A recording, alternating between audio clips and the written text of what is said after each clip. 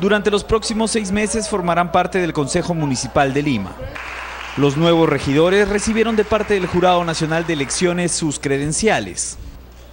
El primero en recibirla fue Fidel Ríos Alarcón, quien ingresó en reemplazo del exteniente alcalde Eduardo Segarra.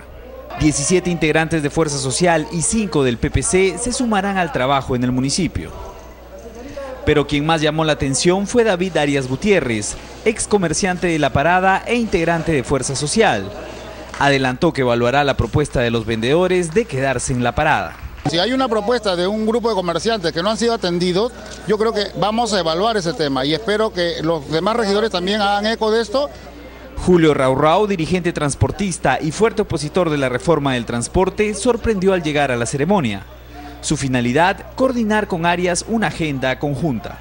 Lo que queremos llegar es a un entendimiento con los nuevos regidores para ver de qué forma trabajamos el tema álgido de las organizaciones sociales, como es la parada y como también el sector transporte, ¿no?